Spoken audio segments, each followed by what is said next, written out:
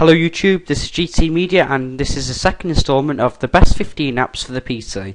Today I'm going to be showing you how to install and use different features on CC Cleaner. But first of all I have some exciting new news about a new jailbreak for iPod for iPod Touch 2G, 3G, 4G up to firmware version 4.1 which will be a permanent jailbreak. This jailbreak is brought by the Chronic dev team and was released today, which was delayed from Sunday at 10 past 10.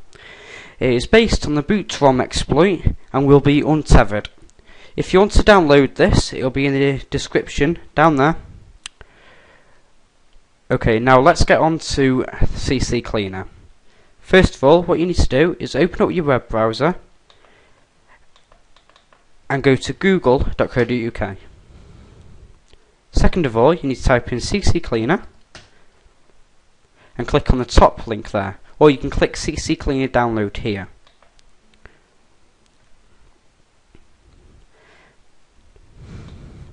Now, now what you need to do is whether you want to download it from FileHippo or Piriform. I prefer FileHippo, so I'm going to click download from filehippo.com there, and a new tab will open with the download page. Now all you have to do is click here, download latest version, and the download should start automatically, and save it to your hard drive. But I'm going to discard it because I already have that file on my computer. So now once it's finished downloading, find your find the installer, which should be in your downloads folder, and is called CC Setup236.exe. Double click that and accept the UACs. Choose a language which you like. It's uh, available in many languages, include Eng English, Spanish, French, German, Italian, any really. And click OK. Now click Next. Agree this license agreement and choose the program where to install it by using this browse box here and choose a relevant folder. Obviously, obviously the best place to install it is in your C drive on uh, program files, which should already be selected. So I'm just going to wait for that for a second because my computer's a bit slow today.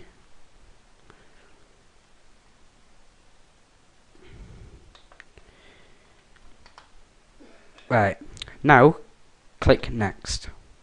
And here you can choose different options whether you want to add a desktop shortcut, add start menu shortcuts, add run CC cleaner option to recycle bin context menu which is the right which is the right click menu like that.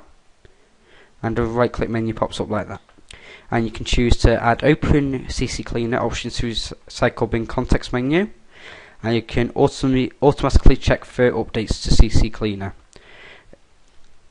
And you can choose when to do it which I'll show you later. Then click install.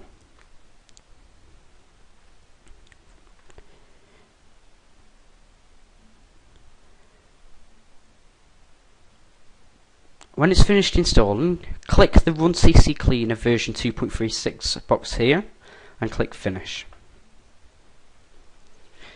And now, here you can choose what you want to remove off your computer. You can choose temporary internet files off Internet Explorer, cookies, history, recent typed URLs, index.dat files, and last download location. And you can choose autocomplete form history, which is all your history and stuff like that, but I don't want to do that. And you choose Window Explorer, these are all log files, recent documents, run, search autocomplete, other Explorer, MUIs, thumb, thumbnail cache, taskbar junk list, and you've got your system files there, empty recycle bin, temporary files like like crash memory dump files, your clipboard, which are in Word and stuff like that, memory dumps, file fragments, what when a file's been moved, it's left left a fragment behind and stuff like that. Windows log files, like memory dump files and stuff like that still again you can choose all these options there like error reporting DNS cache FTP accounts start menu shortcuts desktop shortcuts all prefetch data but it's optimized for your computer, so so it doesn't mess anything up because you could delete something which which which goes to a program if you get what I mean. then you can choose applications and it is Windows and they're all the programs on Windows and you can choose applications here and choose whether you want to clean cookies, download history, internet cache, internet history, session, saved formed information, compact database of Firefox and then Google Chrome, pretty much the same again. Then is all your applications here, which which are all the caches and everything from that from the applications, like so. And then you can click on registry and you can scan for issues, which is another feature of it. It's a registry cleaner as well. But now, first of all, we're going to go into the, CC cleaner. Oh, first of all, before that, you can go into Tools. You can uninstall it from there. You can remove programs from here. Uninstall programs. You can disable startup programs or enable them. You can delete them. And you can choose the system restore. And if you click on options at the bottom here, you can get settings where you can choose different settings like language, whether you want secure or normal file deletion, where to wipe free space on drives. And you can close cookies, like what cookies to delete and what cookies to keep. You can choose what to include. Include to remove stuff, you can exclude stuff which you remove, and you can choose advanced for more options. Now we're going to choose the cleaner up here and click analyze which will anal analyze all the stuff what it can remove from your computer without affecting any programs. This might take a while, depending on how long uh, this uh, uh, a clean has been done on your computer. But I'm going to cancel that for now because it's going to take quite a while because it's not even on 1% yet. But that's pretty much it. And then you can click on registry and scan for issues on the registry cleaner.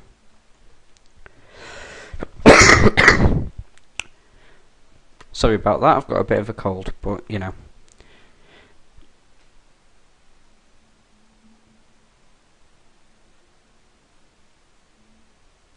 As you can see, it's running and it's finding all all of uh, registry files that can be removed, like unused file extensions and ActiveX slash com issues, which are from like Java and stuff like that.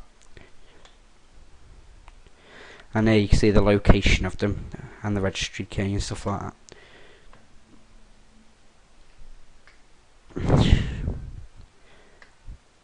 And here is the installer reference issues, the registry files that have been created when you've installed programs.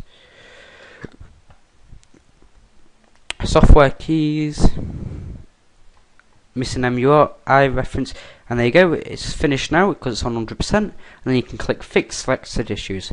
And you can choose whether you want to back up the changes if it affects any of your programs but I don't think it will so I'm going to click no but it will create a restore option as you saw before in the tools. So I'm just going to click no. Then click fix all selected issues and now it, all the issues have been fixed and click close. And click close again there. And that's about it. Thank you for watching. This was GT Media. And if you need any more help on any software or anything anything to do on a computer please comment in the comment box below. After this video I will be doing a review of Green Poison and how to jailbreak your iPod. Thank you for watching and the next installment of this series will commence soon